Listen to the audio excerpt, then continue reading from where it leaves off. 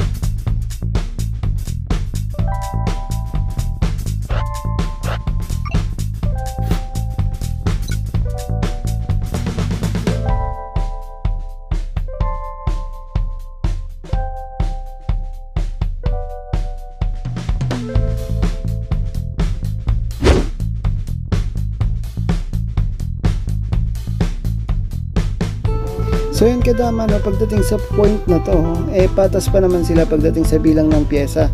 So tignan natin yung magiging progress.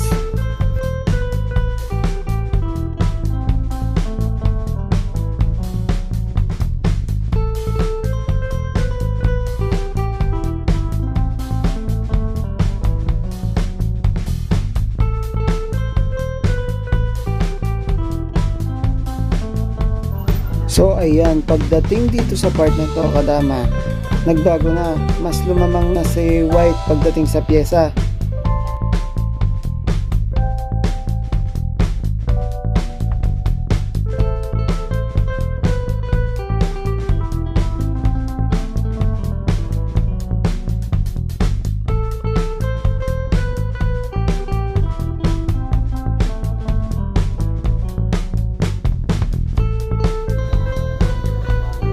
Pare itong panay pakain ng ginagawa ng green ha.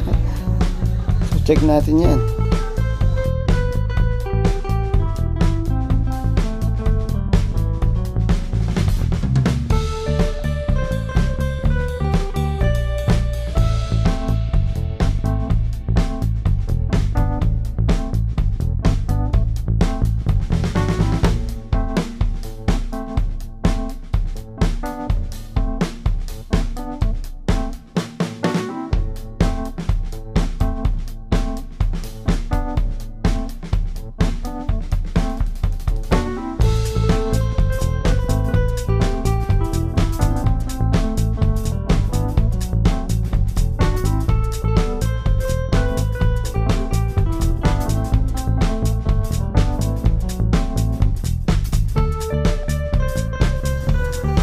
Dito, dadama na po ang puti.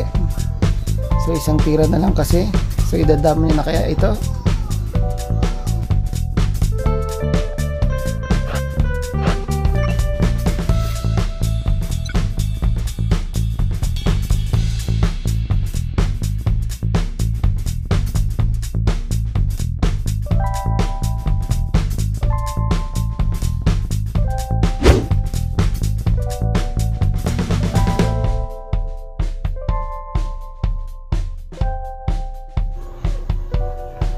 At yung kadama, kung makakadama din ng green, ano kaya ang mangyayari dito?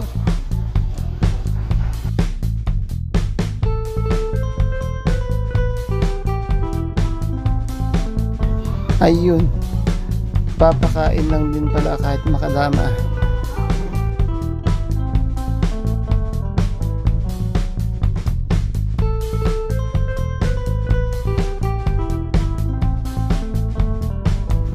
So, yun lang nga. So, sa palagay ko kadama, tapos na to. Alam na natin kung sinong mananalo.